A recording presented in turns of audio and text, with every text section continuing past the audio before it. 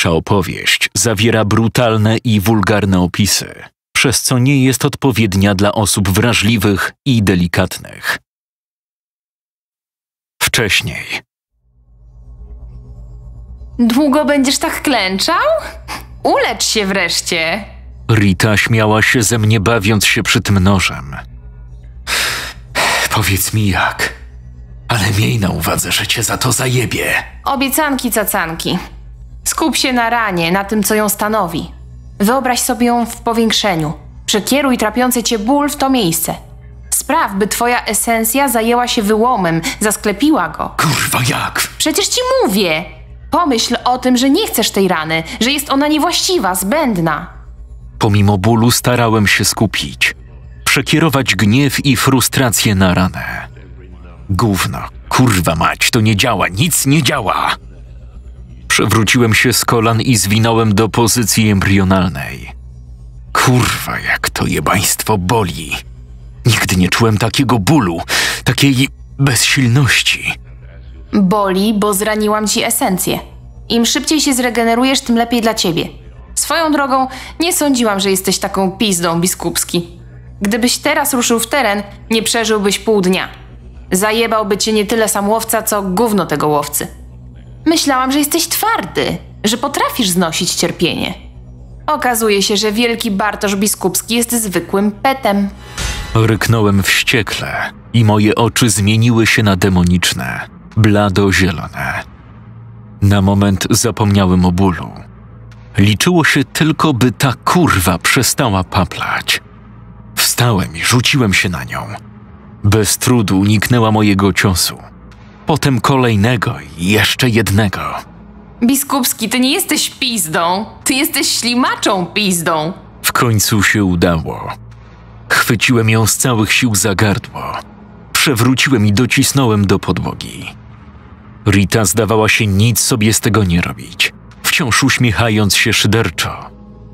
Jednym ruchem dłoni uwolniła się z uścisku i cisnęła mną na drugi koniec sali.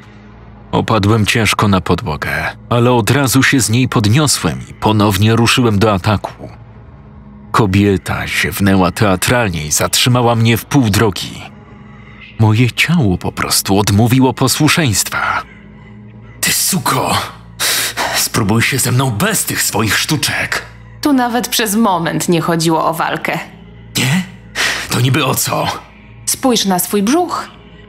Zerknąłem i zaskoczyłem się. Po ranie nie było nawet śladu. Jak? Nie potrafisz się skupić, biskupski. Masz naturę berserkera. Kogo? Wśród demonów rozróżnia się dwie główne natury: mnicha i berserkera. Ci pierwsi czerpią swoją siłę ze spokoju i opanowania. Berserkerom natomiast potrzebny jest gniew, mnóstwo gniewu. Gdybym cię nie wkurwiła, godzinami tarzałbyś się po parkiecie. Nie zrobilibyśmy nic pożytecznego. Już? Wystarczy? Mogę cię puścić? Kiwnąłem przytakująco. Gdy Rita zwolniła mentalne więzy, runąłem do przodu, padając twarzą na posadzkę. Wiesz, gdzie popełniłeś błąd, gdy byłeś skuty? No, Skupiłeś się tylko na jednej drodze ucieczki. Miałeś dwie. Zawsze są dwie. No, chyba, że wpadniesz w łapacza demonów, ale to już jest zupełnie osobna kwestia. jak dwie. Nie rozumiem cię. Czym jesteś, biskupski? Demonem. Gówno nie demonem. Czym naprawdę jesteś? Z czego się składasz? Z ciała i. A, no tak. Chyba wiem o co ci chodzi. Więc dlaczego tego nie zrobiłeś? Nie pomyślałem. Poza tym, co z ciałem? Naczynie jest przelotne. Raz to, raz tamto. Ty, co prawda, jesteś trochę wyjątkiem, bo masz swoje własne ciało, no ale do innego też byś w końcu przywykł. Najważniejszym jest chronić esencję. Nigdy nie możesz doprowadzić do tego, by ktoś cię dźgnął metraksem. Nawet czystym, bez zaklęcia. Przekonałeś się już, że to boli. Co prawda, z czasem będzie bolało mniej, ale nadal będzie kurewsko upierdliwe. Jak mam opuścić naczynie? To akurat jest dużo łatwiejsze od leczenia. Wyobraź sobie, że chcesz polecieć. Tu i teraz oderwać się od ziemi i wznieść. Następnie otwórz mordę i to zrób. Posłuchałem jej. Wyobraziłem sobie, że latam. Następnie poczułem pociągnięcie w okolicy żołądka, jak gdybym miał zaraz zwymiotować. Otworzyłem usta i w następnej chwili byłem już pod sufitem w formie blado-zielonego dymu. Widziałem wszystko dokładnie, tak jak widzą demony. Patrząc na Ritę, nie zwracałem uwagi na jej przeklęte naczynie. Spoglądałem wprost na jej silną i gibką esencję. Wszystkie barwy i dźwięki wydawały się być wyostrzone, pełne. Wystarczy. Wracaj do naczynia. Pozwoliłem mojemu instynktowi przejąć stery. Słup dymu stanowiący moją esencję zbliżył się do leżącego ciała i wsunął się do niego przez nos i lekko otwarte usta. Otworzyłem oczy i znów czułem naczynie. Mogłem poruszać palcami. Mogłem chodzić. Byłem kompletny. Brawo, biskupski, No ale to akurat był banał. Jeśli chodzi o twoje naczynie, to mam jeszcze jedną ważną informację. Jesteś odporny na egzorcyzmy. Co? Egzorcyzm służy wypędzeniu demona z obcego naczynia, tak? No tak. A twoja esencja znajduje się w swoim własnym ciele, tak? No tak. Dlatego właśnie jesteś odporny. Każda próba wygnania cię spowoduje, co prawda, drobny dyskomfort, ale nie musisz martwić się o szukanie nowego ciała. Coś jeszcze powinienem wiedzieć? W temacie naczynia chyba już wszystko. A nie, poczekaj. Jest jeszcze jedna rzecz. Twoje ciało jest generalnie rzecz biorąc martwe. Ożywia je jedynie esencja. To może być upierdliwe, zwłaszcza gdy będziesz przebywał poza nim dłuższy czas. Naczynie zacznie po prostu gnić. Na szczęście, za każdym razem, gdy wracasz do swojego ciała, proces się cofa. To znaczy, że jeżeli będziesz poza nim przez godzinę, a potem wrócisz, esencja zregeneruje mechanizmy rozkładu zachodzące przez ten czas i przywróci do wartości zero. Dlatego, gdy znów opuścisz naczynie, zacznie ono się rozkładać w tempie, jakbyś dopiero co umarł. Kapisz? Ogarniam. Ale skoro się regeneruje, po co mi o tym mówisz? A jeśli przyjdzie taka sytuacja, że będziesz musiał opuścić swoje naczynie na kilka dni? Wejście do ciała wypełnionego trupim gazem nie jest komfortowe, uwierz mi. A twoje naczynia? Mówiłaś, że masz kilka. Moje są żywe. Utrzymuję przy życiu kilka kobiet, dbam o nie, rozpieszczam. A gdy potrzebuję zmiany imidżu, po prostu opętuję którąś z nich. I one ci na to pozwalają? A mają inne wyjście? Śmierć? Chyba wolałbym umrzeć, niż być jedną z twoich kurtek. Nie mają jak. Są spętane. Zresztą, chodź, pokażę ci. Jak na pierwszy dzień wystarczy ci wrażeń. Poza tym obiecałam, że cię przelecę, a skoro nie lubisz blondynek, i tak muszę zmienić naczynie.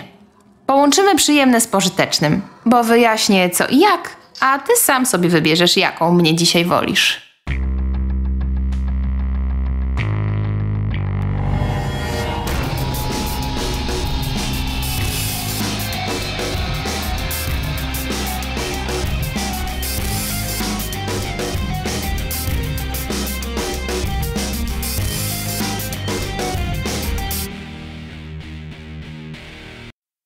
Aktualnie. Leżałem na plecach, bardzo głośno dysząc. Będąca obok Rita również była w podobnym stanie. Oboje nawet nie mieliśmy sił, by zregenerować rany odniesione podczas zabawy. Przeorana głębokimi zadrapaniami klatka piersiowa piekła mnie jak cholera. Lecz był to przyjemny, nawet bardzo przyjemny ból. Naczynie mojej demonicznej towarzyszki natomiast ozdobione było ogromnymi sińcami na gardle, w miejscach, gdzie była przeze mnie podduszana. Często bawiliśmy się w ten sposób, że pozwalała swojemu naczyniu na odzyskanie częściowej kontroli. Opętana kobieta, w przypadku tego naczynia Kasia, a może Basia, chuj je wszystkie wie. W każdym razie Rita pozwalała odzyskać swojej powłoce jaźń jednocześnie pozostając pod pełną kontrolą ciała. Było to kurewsko okrutne względem tej kobiety, bo wykonywała wiele czynności i czuła dosłownie wszystko, nie mogąc zupełnie zareagować. No ale kto by się przejmował ludźmi? Przecież to tylko narzędzia, czy w tym konkretnym przypadku zabawki. Tym razem jednak zrezygnowaliśmy z gier.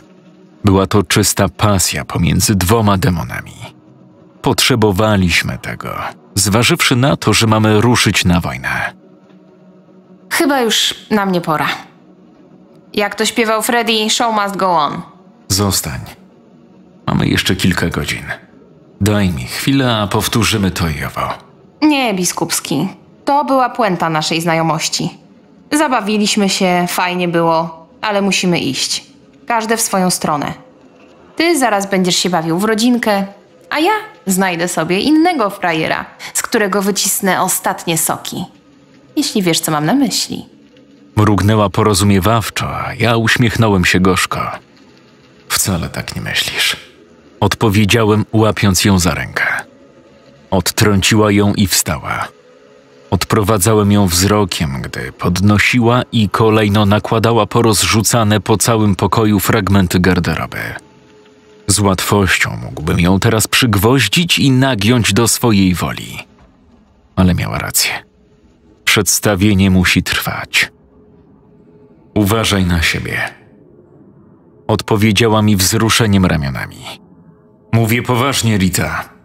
Masz mi się nie dać zabić. Łeb tawki jest w magazynie, w lodówce turystycznej. Raczej się nie zepsuje. Jak ona mnie wkurwiała. Bardzo płynnie podniosłem się z łóżka i dopadłem do niej. Chwyciłem za ramiona i docisnąłem do ściany. Pojebało cię? Puszczaj. Masz mi się nie dać zabić. Rozumiesz? Wsadź sobie swoją troskę w dupę. Nie potrzebuję jej. Za bardzo się zaangażowałeś, biskupski. Byłeś pod ręką. Lubię zielony. Poza tym ktoś musiał rozdziewiczyć to twoje nowe ciało. Skoro je stworzyłam, to sobie z nim robiłam, co chciałam. Ale to się skończyło. Teraz spierdalaj. Odepchnęła mnie i wyszła trzaskając drzwiami. I bądź tu kurwa miły. A niech zdycha i chuj jej w dupę i na imię. Nie mogę być taki roztargniony. Już za kilka dni będę miał Sarę i Roberta. Tylko to się liczy. Podszedłem do szafy i wyjąłem z niej czystą koszulkę, bokserki i jeansowe spodnie. Boruta nie pozwolił mi się zabawić. Idę na zwiady. Potrzebuję jakiegoś niepozornego naczynia, które nie będzie rzucało się w oczy na tym zadupiu, gdzie stoi przystań. Muszę odwiedzić Miraka. Kwatery najstarszego po Borucie mieściły się bardzo blisko sekcji potępionych. Piekło, a przynajmniej ten obszar piekła, po którym się poruszam, dzielił się na cztery segmenty, czy też może raczej dzielnice. Drugi co do wielkości sektor mieszkalny był, jak sama nazwa wskazuje, domem wszystkich demonów. Każde z nas miało tutaj swoje kwatery dostosowane do potrzeb mieszkańca. Niektórzy, jak ja, proste, jednopokojowe izby, inni wypełnione przepychem apartamenty. Do tych drugich zaliczał się między innymi Mirak. Kolejną dzielnicą było centrum, siedziba Boruty. Znajdowały się tam także sale treningowe i miejsca spotkań, jak też cele z żywymi naczyniami.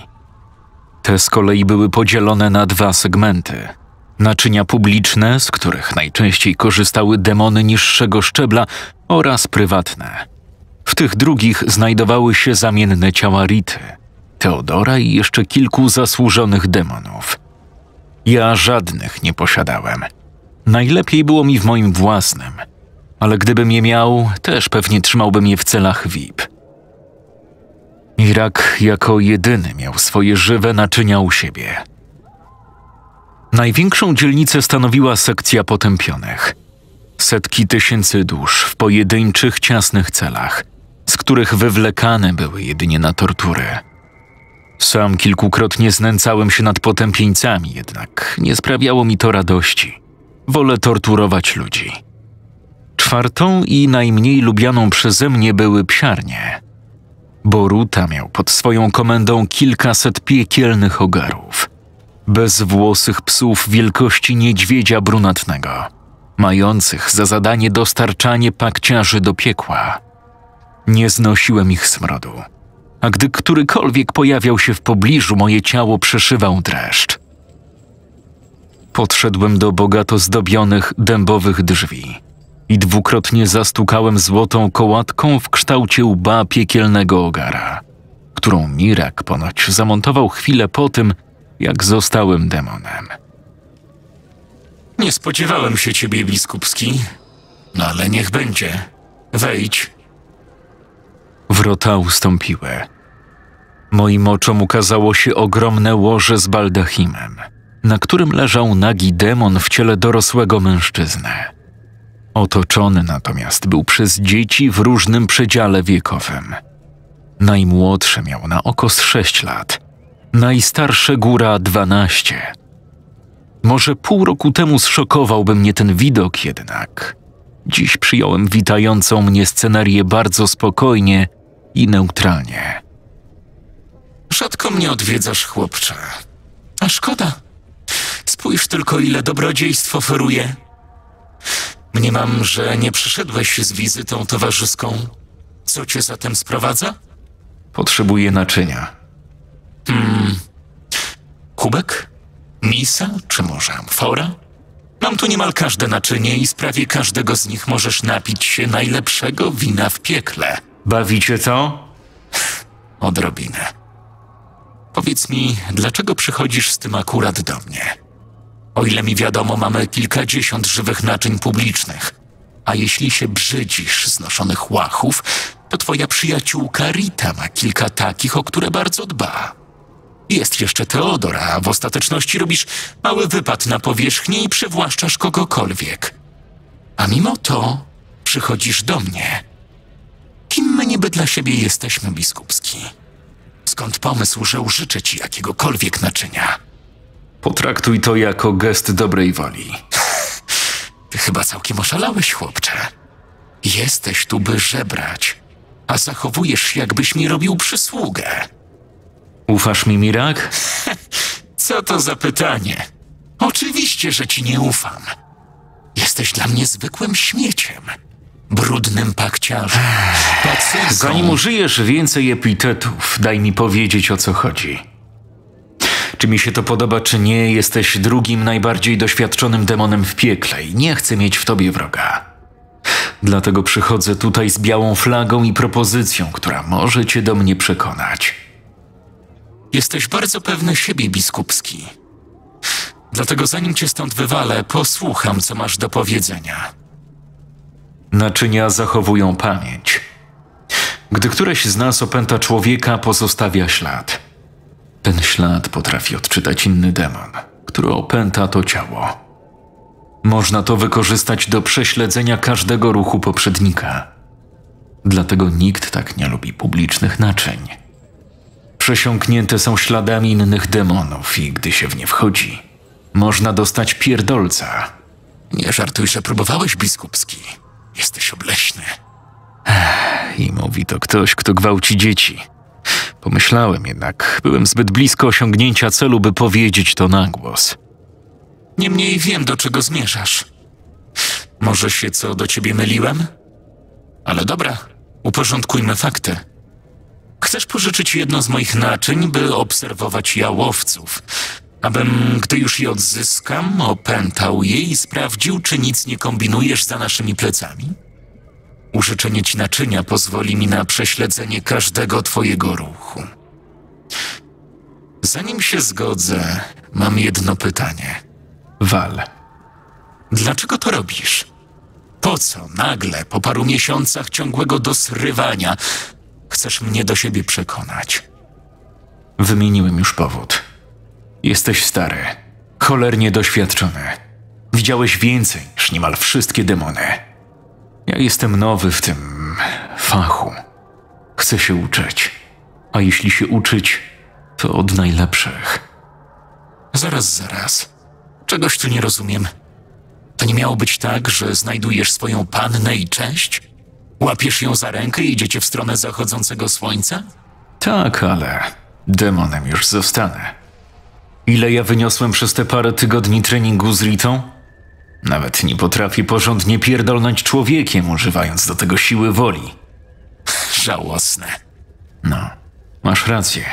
Żałosne. A ja nie lubię być żałosny. Gdy to wszystko się skończy, będę potrzebował wiedzy. Nauki, jak stać się demonem. A skąd pomysł, że będę chciał ci swoją wiedzę przekazać? Bo ci zależy. No nie na mnie, to oczywiste. Zależy ci na tym miejscu. Sam mówiłeś, że proces tworzenia demonów jest trudny, a ja mam oczy i obserwuję. Po piekle nie szwędają się miliony demonów. Jest nas zaledwie kilka setek.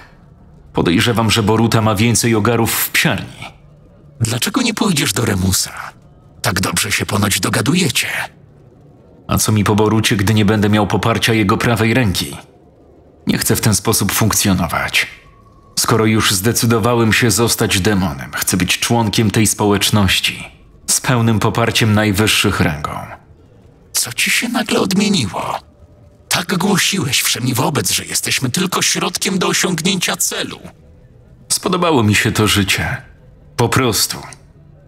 I choć zdaję sobie sprawę, że będę musiał wziąć na siebie obowiązki głowy rodziny, ale do chuja pana. Jestem demonem i chcę zachowywać się jak demon. Oj, chłopcze, znam pannę, za którą się uganiasz. Ona ci na to nie pozwoli. A co ona ma do gadania? Zrobię, co będę chciał zrobić. Co ona ma do gadania? Naprawdę pytasz mnie, co Sara Boruta ma do gadania? Kocha mnie. Zrozumie, że lubię tu z wami być, nawet z tobą. Kochała Bartosza Biskupskiego. Człowieka. Ta dziewczyna nienawidzi wszystkiego, co ma oczy bez źrenic i białek. Gdyby tylko mogła, wybiłaby nas wszystkich. Myślisz, że dla ciebie zrobi wyjątek? Wciąż jestem Bartoszem Biskupskim. Popatrz na mnie, chłopcze. Spojrzałem w jego oczy. Nie tak. Naprawdę na mnie popatrz. Mrugnąłem. Moje oczodoły wypełniły jednokolorowe, blado-zielone ślepia demona. Widziałem teraz jego prawdziwe oblicze. Bardzo starą i niezwykle potężną esencję. Tym właśnie jesteś. Zielonookim skurwielem, mordercą przyjaciół, egzekutorem woli Remusa Archibalda Bonaventury Boruty. Przyznaj to wreszcie. Ale nie przede mną. Przed sobą. Nie ma już w twoim ciele choćby jednej komórki będącej dawnym łowcą. Pogódź się z tym i bądź nam wzmocnieniem. Idź tam i zapierdol tego łysego zgreda, jego skurwiałą żonkę i tych dwóch bachorów. Pokaż, że dawne życie jest dla ciebie niczym splunięcie. Pokaż, że jesteś jednym z nas, a będę traktował cię jak jednego z nas. Bądź demonem biskupski, prawdziwym demonem. Jeśli to udźwigniesz, wróżę ci wspaniałą karierę. Jeżeli nie, lepiej wsadź sobie w oko metraksowy nóż i szczeźnij na miejscu, nie zawracając mi głowy. Daj mi naczynie, a osobiście przekonasz się, kim jestem. Mirak wstał i spojrzał na mnie badawczo. Następnie niespiesznie opuścił pokój, znikając w znajdujących się za łóżkiem drzwiach. Dopiero teraz, gdy zniknął, spostrzegłem, że wciąż są tutaj te wszystkie dzieci. Wcześniej zwróciłem na nie uwagę jedynie przy wejściu. Rozmawiając z demonem, sądziłem, że gdzieś sobie poszły. Przyjrzałem się im. Wszystkie żyły, choć ich spojrzenia były puste. Mirak podporządkował je swojej woli. Pewnie tresura tych szczeniaków była krwawa i bolesna, niemniej odniosła zamierzony efekt. Gówniarze chodziły jak w zegarku i jestem pewien, że spełniały każdą, nawet najbardziej pokrętną prośbę swojego pana. Biskupski, przedstawiam ci Nikolę. Nawet nie zauważyłem, kiedy wrócił. Towarzyszyła mu szczupła, kilkunastoletnia brunetka z długimi do ramion, delikatnie zakręconymi włosami. Ubrana była w prostą, zieloną sukienkę. Tylko mi jej nie popsuj. Jeszcze nie zakosztowałem smaku tej dziewczynki. Myślałem, że wolisz młodsze. Ogranicza nas tylko wyobraźnia, a moja pozwala mi jadać z wielu stołów, nie czując się przy tym źle. Dziękuję, Mirak. Nie spodziewałem się, że dojdziemy do jakiegoś porozumienia. Podałeś mi sensowne argumenty, biskupski. Wbrew pozorom lubię mieć po swojej stronie żołnierzy oddanych sprawie. Ale nie napalaj się zbytnio. Wciąż ci nie ufam. Niemniej zrobiłeś dziś pierwszy krok do tego, bym dał ci szansę. Uśmiechnąłem się sztucznie i wyciągnąłem rękę, by przychwycić dziewczynkę. Jednak Mirak cofnął się o krok. Nie tak szybko. Wszystko ma swoją cenę. Teraz powiem ci, co musisz zrobić, aby dostać to naczynie. Ten chłopiec stojący w rogu, Pawełek. Opętasz go, a potem zrobisz wszystko, co ci każe. Dobra, jak sobie chcesz. Zapomnij, że tutaj byłem. Poradzę sobie bez twojej pomocy. Biskupski, coś ty taki sztywny. Przecież żartowałem. Jest twoja. Tylko przypominam, nie zepsuj jej. Demon pchnął dziewczynkę w moją stronę. Ja chwyciłem ją za rękę i oboje wyszliśmy z jego kwatery. Ile ty właściwie masz lat? Nie lubiłem ciszy, która zapanowała, a jedynym dźwiękiem był ten wydawany przez nasze bose stopy, uderzający rytmicznie o marmurową posadzkę. 14, proszę pana. Jak cię dorwał? Byłam z rodzicami na biwaku, nad jeziorem. I przyszła dziewczynka. Bawiłam się z nią. Potem poszłyśmy do nas i ona. Pozwoliłem ci przerwać? Przepraszam, proszę pana. Ona rozszarpała gołymi rękami moich rodziców i powiedziała, że bardzo się jej podobam i zabierze mnie ze sobą. Głaskała mnie, a ręce miała całe we krwi. To był pan Mirak. Zrobił ci coś? Zaopiekował się mną. Tak jak opiekuje się naszą trójką. Przestań pierdolić. Masz mi mówić szczerze. Pan Mirak jest dobry. Przynosi owoce i gazety. I ja też muszę być dobra, posłuszna. Wtedy nas nagradza. Ja pierdolę dziewczyna. Muszę wiedzieć, jak cię opętam. Nie chcę przykrej niespodzianki. Ja nie jestem od tego. Pan Mirak o mnie dba. Nie jak o inne dzieci. Ja, Sylwia i Tomek jesteśmy jego specjalnymi okazami. Tak na nas mówi. Do niczego nas nie zmusza. Mamy być tylko posłuszni. I niby Mirek dał mi jedno ze swoich najcenniejszych naczyń. Pan nigdy mnie nie opętał. Zawsze był dobry. Nie tresował mnie jak innych. Podoba mi się jego musztra. Będzie mi musiał pokazać, jak to robi, gdy już będzie po wszystkim. Jesteśmy. Właś. Wskazałem drzwi po mojej lewej. Dziewczynka posłusznie wykonała polecenie. Następnie stanęła przy ścianie, jakby czekając dalszych instrukcji. Usiądź sobie. Mirak wydał ci jakieś polecenia? Powiedział, że mam się pana bezwzględnie słuchać i że mam robić wszystko, co pan rozkaże. Może pan zrobić ze mną, co tylko chce, pod warunkiem, że nie uszkodzi mi pan ciała. Nie bój się. Wolę trochę starsze. Nikola uśmiechnęła się niepewnie. Wiesz ty w ogóle po co tutaj jesteś? Mam się stać pana naczyniem. Nic więcej nie wiem. A masz pojęcie, co to znaczy? Opęta mnie pan. Wypuści z ust dym, który wejdzie we mnie przez usta i nos. Potem stracę swoją wolę i przejmie pan pełną kontrolę nad moim ciałem. I mówisz to tak spokojnie. Godzisz się na to? Takie dostałam polecenie. Jeśli będę posłuszna, dostanę nagrodę. A jeśli się sprzeciwisz? Przestanę być wyjątkowa i pan Mirak zacznie mnie tresować. Dobra, wystarczy już tego. Połóż się i rozluźnij. Dziewczynka bez słowa sprzeciwu wykonała moje polecenie. Wszedłem do łóżka i położyłem się obok.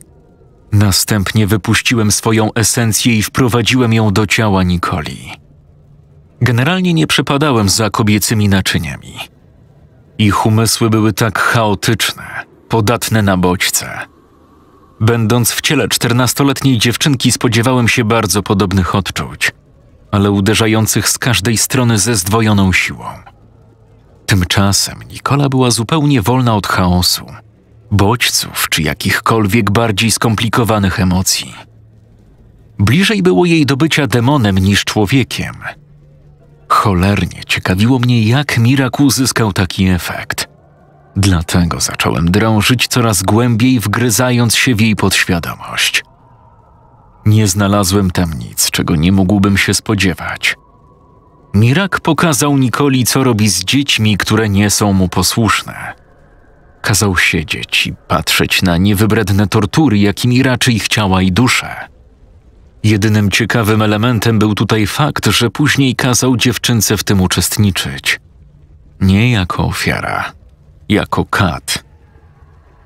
Muszę przyznać, że sprawdzała się w tej roli wyśmienicie, a na niektóre zastosowania dla nogi od stołka sam bym nie wpadł.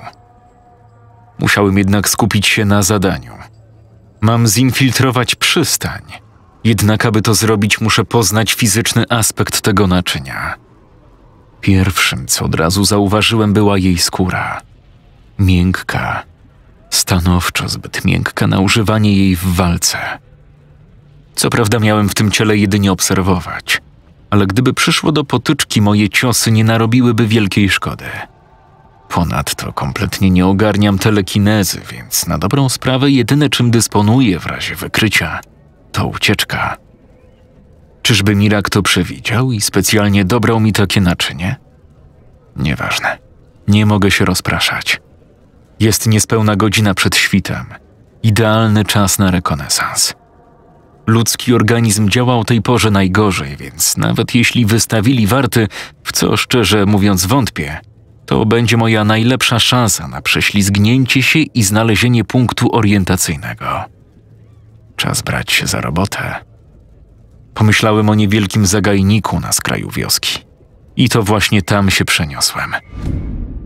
Gdy tylko bose stopy mojego naczynia dotknęły wilgotnej trawy, poczułem rozsadzający mi czaszkę ból głowy. Nie jest dobrze. Zaklęcia, których użyli, były naprawdę potężne. Przez chwilę miałem problemy ze złapaniem ostrości widzenia, jednak im dłużej przebywałem w polu działania magii, tym łatwiej było mi się skupić. Po kilkunastu minutach ból zelżał, choć nie zniknął całkowicie. Zmarnowałem mnóstwo czasu, a nie byłem nawet blisko przystani. Ta znajdowała się jakieś 700 metrów w linii prostej przede mną. Przemieszczałem się powoli. Idąc główną ulicą, byłbym kompletnie odsłonięty, a widok bosej czternastolatki na środku drogi byłby co najmniej dziwny. Poruszałem się od podwórka do podwórka, jednocześnie badając, jak wielu ludzi tu jeszcze mieszka. Wreszcie po kolejnych kilkudziesięciu minutach udało mi się dotrzeć do miejsca, z którego spodziewałem się zobaczyć przystań. Niestety, choć wiedziałem dokładnie, gdzie się znajduje. Gdy spoglądałem w ten punkt, nie widziałem kompletnie nic. Jak gdyby moje oczy całkowicie zapomniały, jak należy patrzeć. Dopiero gdy skupiłem się i przywołałem pamięcią wspomnienia Buffy, coś odblokowało mój wzrok. Dobrze widziałem ceglany piętrowy budynek z ogromnym podjazdem, fontanną i ogródkiem warzywnym. Całość otoczona była żelaznym ogrodzeniem, którego zwieńczenia przypominały groty strzał. Cholerny inżynier już nie spał. Krzątał się po podjeździe i rozmawiał przez telefon. Bałem się, że gdy zobaczę go po takim czasie, wywoła to u mnie jakieś emocje, które uniemożliwią mi wykonanie zadania. Tymczasem nie poczułem zupełnie nic. Od kolejna przeszkoda na mojej drodze, którą trzeba będzie zwyczajnie usunąć. Wślizgnąłem się do jednego z domów, mających okna wychodzące na przystań. Mieszkało tu jakieś stare małżeństwo. Zupełnie nie pamiętam ich nazwiska, ale byli tu zanim jeszcze się urodziłem. Mężczyzna właśnie wstał. Nie był wymagającym przeciwnikiem. Nie zdążył nawet pisnąć, gdy podrzynałem mu gardło, znalezionym w przedpokoju nożem. Kto do jasnej cholery trzyma noże w korytarzu? Najciszej jak umiałem wszedłem do sypialni. Kobieta spała. Wyglądała na słabą, trawioną chorobami. Brzydziła mnie i samo to, że jeszcze oddychała, było odrazą dla siły i potęgi, jaką sam reprezentowałem. Niektóre demony lubiły pić krew swoich ofiar. Mówiły, że im starsza, tym lepsza, jak wino. Dla mnie starość była czymś odrażającym. Oczywiście ta w ludzkim wydaniu. Demon z wiekiem nabierał dostojności i ogłady. Człowiek niedołężniał i śmierdział. Uwolniłem ją od brzemienia życia, dusząc poduszką. Ja pierdolę, jeszcze się zdążyła posrać. Na szczęście nie byłem zmuszony do dłuższego przebywania w ich sypialni. Okna, które mnie interesowały, znajdowały się na przeciwległej stronie domu. Pokoik był niewielki i skromnie urządzony. Nie umiem określić, jaką rolę pełnił w życiu tej pary. Możliwe, że był czymś na kształt składziku, gdyż znajdowała się w nich masa niepasujących do siebie rzeczy. Spod sterty starych ubrań wygrzebałem drewniane, rozlatujące się krzesło. Wystarczy, nie potrzebuję luksusów. Usiadłem zatem i patrzyłem. Z tej odległości nie było najmniejszych szans, by ktokolwiek z przystani mnie zauważył. Musieliby użyć lornetki, ale nie obawiałem się tego. Po co mieli skanować okna sąsiadów? Czuli się tu bezpiecznie. Nie mieli pojęcia, że Buffy nie żyje, a dla demonów to miejsce nie istniało. Zaśmiałem się w duchu, wiedząc, że nasze zadanie będzie łatwiejsze niż przypuszczałem. Brygada sprzed pół roku była czujna, przygotowana, wiecznie w trasie. Prawdopodobnie w bezpośrednim starciu zdjęliby demona bądź dwa. Hołota, którą się stali, schowani za bezpiecznym zaklęciem, nie będzie w stanie zrobić nic. Do 7.30 nie działo się nic szczególnego. Jałowiec skończył rozmawiać przez telefon i wrócił do środka. Podwórko pozostawało puste. O wpół do ósmej dwie osoby wyszły z domu i wsiadły do będącej na podjeździe czerwonej Toyoty Civic.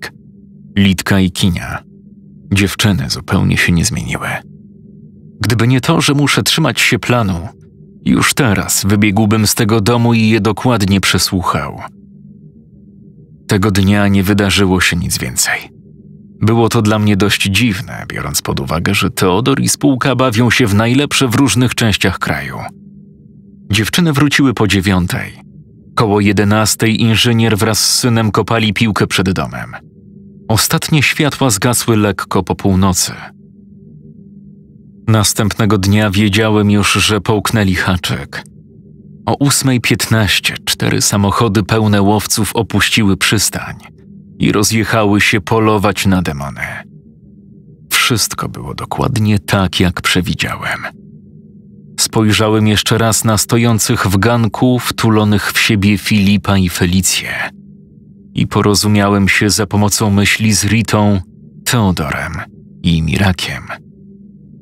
Moja wiadomość była krótka, ale jakże satysfakcjonująca. Ruszyli. Wszystko idzie zgodnie z planem.